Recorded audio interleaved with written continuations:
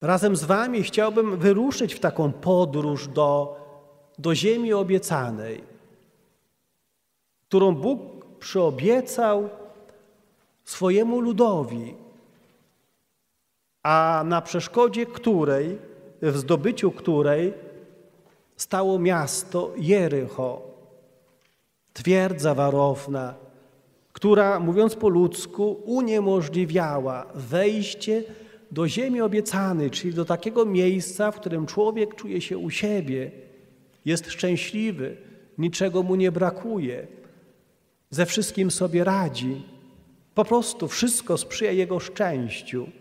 Będziemy szli tą drogą, którą szli Izraelici w oparciu o Boże Słowo, odkrywając, co w naszym życiu może być takim Jerychem, które uniemożliwia wejście do ziemi obiecanej.